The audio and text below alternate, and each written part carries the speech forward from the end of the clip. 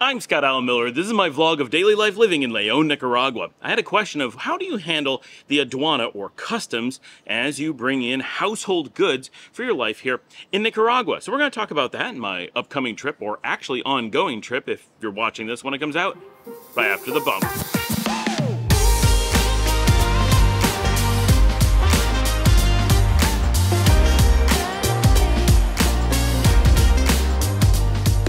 So when you move into a new country, like Nicaragua, you often want to bring a lot of household goods with you. You have a lot of things you already own, presumably, and you want to bring them. Or in some cases, maybe you don't already own them, that would be strange, but you probably do, do.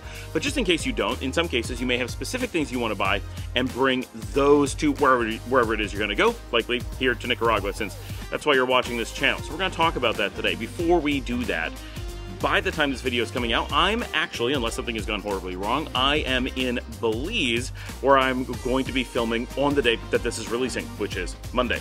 Uh, so I'm actually uh, flying out to Guatemala City on the day that I'm recording this, which is Saturday. I'm going to be going to San Salvador, which is actually my first time there. I've been to El Salvador multiple times, but I've never actually gone to the capital or used the airport, which is really surprising. So I'm going to be going to the airport. I'll provide as best I can a little bit of information about what I think of the airport, but I have very little time there. Then I'm flying right on to Guatemala City where I'm going to be spending the night. I'm staying at the, the Hilton Garden Inn. I will have already stayed there by the time we get there. And I talk a bit about how I use Hilton whenever I'm going somewhere because, not because it's Hilton, like I like them, but that's not the point. The point is, uh, as a traveler, I select a single hotel chain that works for me. You could be using Hyatt or Holiday Inn, Intercontinental, uh, Choice, whoever makes sense for you and the places that you're going and, and the style you like and I stick with it and I do a lot of point stuff. So we just did a trip uh, that we're going to talk about that I that we did all of our, our hotel stays on points. Like it really worked out for us. Uh, but so this is a trip where again I'm going to be in Guatemala City. I'm going to be there at the airport. A lot of times I would use an Airbnb. But because I'm just flying into the airport, spending the night, and going right back to the airport and getting out, I just want everything to be as smooth as possible. I want absolutely no opportunity for something to go wrong, especially because it's a business trip. So I'm staying at the Hilton Garden Inn, which is cheap. It's like $106 right there in Guatemala City. So unfortunately, I'm not doing anything cool in Guatemala. I'll do as film as much as I can.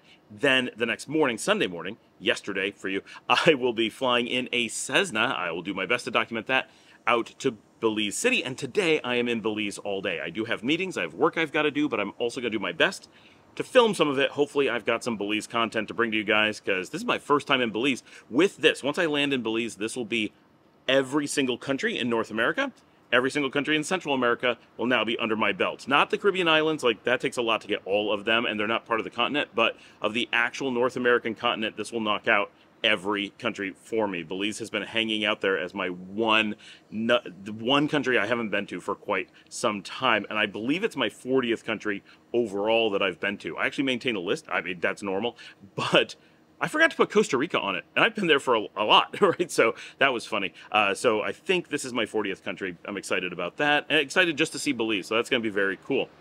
So how do you bring in household goods? So the first thing I say to everybody is just don't. Like seriously, consider not bringing them in. Why would you want to move household goods internationally? If you're moving from apartment to apartment inside your own country, US, Canada, England, whatever, it's relatively normal to pack up all your stuff, put it in a moving truck, and move somewhere. However, even that is often not worth it. People assume it is because it just feels like it should be the way you do things, and it's what we see on TV. It's what big companies pay to have done for you. But in a logical sense, often it doesn't actually work out as well as you'd think. When you move, a lot of that stuff could have stayed with your old house, your old apartment. You may have made some money for it. It's worn out. It may not be something you want to keep. Shipping it may damage it. It's going to cost money to ship it. It's going to be an effort to ship it. There's just a lot to go wrong. And it means you're getting to a new place and putting in an old microwave, an old blender, an old everything if you're not actually significantly saving money, it might be nice to buy new things uh, get a tax write-off on the old ones, sell the old ones, give them to someone, do something, buy things that make sense, get things that are new, get things that fit exactly for your new environment. There's just a lot of reasons, even if you're just moving a real, if you're moving across town, yeah, pack it up. Like I get it. But if you're like really, really moving a long distance, and I've done this a number of times in my life, the cost and effort of moving household goods uh, when you when it's something you don't need to is is big. It really is.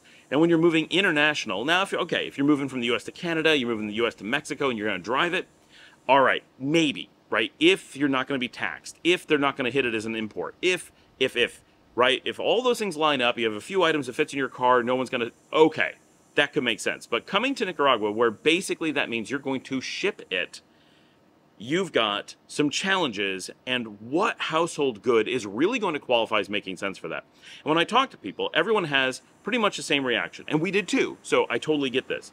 It's I own couches, I own TVs, I own all these things that feel big and expensive and to some degree they are. And I've owned them for some time. I'm attached to them and I've already spent the money. Of course I want to move them down with me. But do you really? Put a price tag on how much first of all, do some math. How much did they cost originally? And do you have some really strong emotional tie to this particular item, right? If it's like a big emotional thing, like this is the couch where, you know, my, my dog was born and I just have to have it because I'll always, whatever. You can't put a price tag on whatever it is you're putting a price tag on. But if you're talking about normal things, like, well, I bought this couch, I like this couch, it's kind of comfy. You know what? Just buy another couch right? Get over the emotional attachment to just random objects. It, it, we all have it, but it's not healthy. So think hard. Is the stuff you own actually so important that you would, one, take the risk of shipping it, and two, spend the money to move an old thing you already own that you bought for a different situation and move it to a new place, whether that's furniture or a blender or a microwave, whatever. Do you really want to bring that thing to a new space where it wasn't custom purchased for that space? Probably, almost always, no, you don't want to it's better to get to the place you're going to be, make all your decisions, rent the place, figure out where you want to be, figure out all the things you need, and then buy new or used what makes sense in the new location, Nicaragua in this case.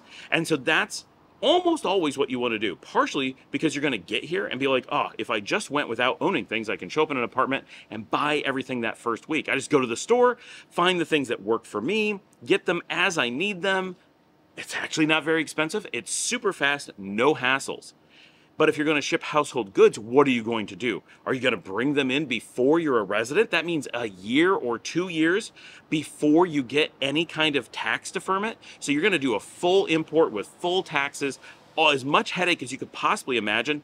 And still, it could take weeks before they get to you if you're lucky. There, there are cases where it could take months, but we'll assume several days to a couple weeks is how long you're going to wait. But if you had just bought locally, it probably would have been cheaper because those taxes can hit 100%, not normally. They can get up there and they're going to tax you on the new value. They don't care that it's used, right? Everyone says, well, it's used, it's not worth anything. That doesn't matter, right? You don't really get to negotiate with customs. They put a dollar figure on it and you owe it and you can say, well, I'm just going to abandon it. And they, they can still tax you whether you abandon it or not. And you say, well, what are they going to do to me? They're going to deport you if you don't pay your taxes, right? So this is not a process that makes sense. Everyone thinks they're going to somehow work their way out of customs, but customs takes your stuff knows where you are and has the ability to deport you or tax you at a moment's notice. So you don't want to mess with customs in a stupid way. When you come into customs, you have to be prepared to pay the taxes on whatever you're going to do and work through their process. Now, if you have a shipper do it for you, yeah, you may not be the one that's worked through the process, but you still have to pay whatever the, the fees are, right? Maybe you work that out, maybe it's bulk, and that's, we'll talk about that. But people have this imaginary situation where they can argue that they don't owe import tax or the rate on the import tax that the customs or aduana has levied on their products. And that is, you don't have that, right? There's no negotiation. That once in a while you get to explain something. But, and in every case that I talk to someone and they're like, well, they shouldn't tax me on this because the because that they say is an exact explanation as to why it should be taxed because they're importing it. They're acting as an importer who's trying not to pay their importation duties. Well, of course that qualifies you for being taxed. I, it's really amazing how much people act surprised that being an importer triggers a tax and that arguing that they're doing exactly the thing that everyone expects to get taxed. And I don't mean everyone in Nicaragua. I mean, every country in the world expects to tax you under these circumstances. The only time that places like the US doesn't tax you is if you fly under the radar that it's just too little and they just it's not worth the effort. But they you still technically owe those taxes, you just didn't declare it or whatever. But if you're bringing in shipping containers to the US, to Canada, they will catch you. They're going to you're importing and you owe money on that, right? Now, it's a more defined process and easier to slip through the radar because in Nicaragua there's so little coming in that they really notice. But if if you think you're going to make this this argument, oh, but I don't owe money on the furniture because I'm just going to use it here in country. That's what an import is, that you're going to use it here in the country. The argument that you, in theory, would make is uh, this is a couch that I take with me everywhere I travel. I always like to sit on it. So I put it into every hotel room I get into. And when I move on to the next country, I'll take it with me. They'll never believe you. I don't believe you. But that would be a logical argument if, for some reason, that crazy scenario came up. That's a situation where, in theory, you shouldn't have to pay import tax. But anything you bring in with the intent of this being its final destination, that's what imports are for. That's where you have to pay the money at customs. So basically, any household good, anything that shows up as a household good and you bring in, is going to hit the importation system. And that's fine, not a big deal. You're totally allowed to do that, right? Just because you pay taxes on it doesn't mean you did something wrong. This is the process. And every business has to do that. And that's why businesses and the government get angry if you try to skirt this process because you're cheating businesses who are selling furniture in the country and or whatever the household goods and they have to pay their import taxes. Well if you get to bring things in without paying your import taxes you just stole from legitimate businesses that are paying their taxes. And that means you also stole from the government. So both the government and the private companies get pretty angry plus all the employees of those com- companies who don't make as much money or they don't get to hire as many people or whatever and don't get to pay their income taxes because people are skirting the importation duties it adds up. And in a country where jobs are at a premium because there aren't enough to go around, this stuff matters a lot. This is where a lot of the revenue of the country comes from. So they're very picky about this and they watch for it very closely. So if you're going to import household goods, be prepared. Assume you're going to pay import duties and those numbers can be very large. So what do you actually do? What is the mechanisms? Assume you go through all this and you say, Scott, I know it doesn't make logical sense or I have a very specific case and I need to bring it in anyway. Okay, that's fine. Now, what do you do? If you're bringing in small amounts, really small amounts, and it's, like physically very small, and you can put it in your luggage, well, it's okay to bring it in in your luggage. They're probably going to see you at customs as you come through at the aduana uh, screening, and they'll ask you about it. Chances are you'll have to pay taxes on it. The thing that really sucks is that if you do that, there's a good chance you're going to be pulled into the aduana line and they're going to take your stuff and they're going to put it in a place where it has to be assessed and then they're going to charge you a tax. Doesn't mean you're in trouble. It's just a nuisance. And when I did this three years ago, trust me, it was not a good idea. I ended up having to spend three days in Managua. That means I had to pay for taxis, hotels, staff, all kinds of things to make this possible for me because I just moved here. I didn't have a car. I didn't know my way around. I didn't know how to deal with stuff. Luckily, I had a staff here or I would have no idea what to do. I had no idea how to even find the aduana because it's not at the airport.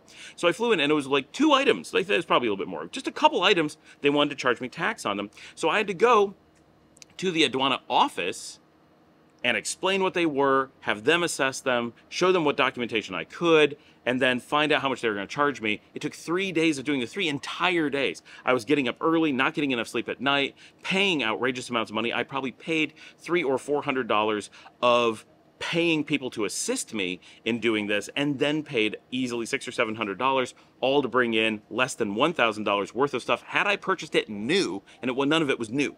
So this is really expensive. Now it's fine we got the items that we wanted we got them in and we used them and like it's not a big deal. And uh, it was a good learning experience and i just wouldn't recommend it unless you absolutely need to do it but that time is something that people don't necessarily calculate that you might be stuck for a long time dealing with this and you may have to pay a lot of ancillary costs that you didn't think about like people to assist you, hotel rooms or whatever because it's not like you can stay home and do it. They make you go into Managua if you live there, it's not so bad and and deal with it there can be very complicated, especially if you weren't planning on it and you don't have a place to stay and everything lined up or you're expected to be somewhere or whatever. So it, it can be a big process if you bring it in yourself. You can bring it with a shipper. So we mention NicaBox all the time because it's the one everyone talks about, but there's lots of these kinds of services. You can ship to them only up to a certain size, and they will ship to the country. And different carriers do it by weight, do it by the number of items, do it by knowing what it is you have. It could be all over the map. Look at those options, ship that way, you will pay a premium, but it's generally a predictable premium. So you're less likely to be surprised. You're more likely to be say like, okay, that was a hundred dollar item. I had to pay thirty dollars to bring it in. Okay, is it worth hundred and thirty dollars? Uh, total thirty dollars now to get an item that you paid a hundred for last week, last year, ten years ago into the country. you can make those evaluations and, and determine on your own what makes sense. That's fine. If you're going to bring in more than that, then you're going to want to work with a real shipper, right? You're going to want to put things on a pallet or into a shipping container and put them on a cargo ship and ship them down either through Calabasa, uh, Bilwi in the northeast, or to Corinto in the west. That's going to take quite a bit of time. This is where it starts becoming very difficult to justify because how are you living for so long without these items that are supposedly so critical what are you going to do? You're not going to have a couch, not going to have your household goods? No, you're probably going to replace them while you're waiting for the ones you like to get there. Now, if they're worth millions of dollars and no one's going to notice they're worth millions of dollars, okay, maybe you want to take that chance. But what if they fall off the ship? Ships sink all the time these days. Or not so much the ships, but the cargo falls off of them. So that's something to worry about. If it's like super nostalgic, are you okay with it not making it? There's a lot to consider, and that's not really the point of this video, but it's important. It's really, really difficult to justify bringing in household goods to the country. But if you have large ones or a large number of them, you're going to want to palletize them or, or cargo containerize them and ship them in that way. And then you're just going through cargo shippers uh, and dealing with that in a completely different mode. And that I know of literally no person who has successfully gotten that in. And I say this all the time I only know a couple of people who have attempted this because it's such a just generally un, once you're here and thinking about it, everyone says the same thing. What was I thinking? Why would I consider that? So good. Get here, evaluate it, and then realize that you're going to spend a ton of money for something you clearly don't need because you're living without it. But of the few people I know who did that and still said, I'm going to ship it, it's been a 100% loss. Everything they shipped never arrived, or it semi arrived but wasn't cleared to come off the ship and they never got it. They lost all of their possessions. Now, if they had insurance and stuff, hopefully they're okay. I don't know their insurance situation. That's completely independent of the shipping to Nicaragua. But the shipping companies, they were unable, even with, they had references, they had all kinds of verifications. The shipping company was a scam and stole all their stuff. They never actually uh, shipped it and released it, right? They didn't complete the process. They took off with the money and they had already collected all the money for the ship and just vanished. And so they were left with nothing. And that's a big risk. Now, it, it, does that happen to 1%, 50%, 99%? We have no idea because I only know the few people I've talked to who've done this because nobody tries it anymore, partially because it doesn't make sense and partially because people hear these stories and go, oh, I want to really reconsider this whole process. And that's basically where you end up. So really think carefully about that. But if that's what you're going to do, that's what you have to do. And no, because of that experience, the reason I'm explaining that is I cannot give you a reference to anyone who's successfully done this to Nicaragua. I have never worked with a shipper who successfully have done it. I have never known a person here in Nicaragua who has successfully done it. That doesn't mean there aren't millions of people who are successfully doing it. It just means I have not encountered them and I don't know who it is. I don't know where. I'm sure if you go down to San Juan del Sur and you have to, tons of expats, you have tons of expats who want to do this. Whereas up here in Leon, we know lots of expats and none of them want to do this. So there, there just isn't very much opportunity to, to get experience from this. If you're in San Juan, you talk to a bunch of people, I'm sure you would gather a lot of experiences and find shippers that people like consistently. However, that's what people we know did, and still they lost everything. So be wary even still. And I'm not saying that those people were scamming them. The shipper was, those people probably used that shipper and actually did receive things. And at some point, that shipper was like, we just want to get our money and get out. And they got caught. It was kind of like Russian roulette with shipping containers. So, uh, if my audience, if there's any of you who have tried this and successfully or unsuccessfully uh, shipped stuff, get down those comments, let me know, or make a video, and we'll paste you in. That would be fantastic um, that's that's the only way we're going to get references on this, right? We're just not going to have an opportunity to learn about it until people talk about what they've had done and how it worked for them.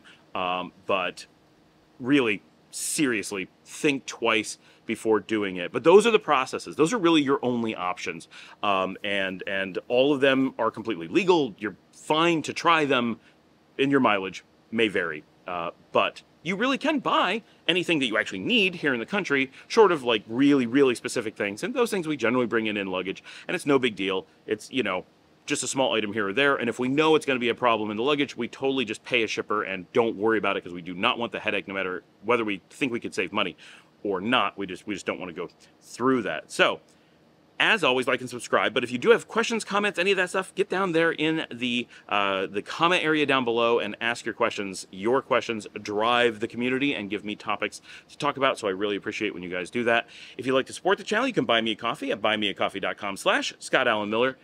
And if you would, post a link to the show on social media somewhere. Tell someone about the show, and I will see all of you from Belize tomorrow. And now on the screen, if we're lucky, four videos will pop up. They rarely do, I guess. But if you click on one of those or any of my other episodes, it tells the algorithm that this was a great show and to uh, keep telling people about it.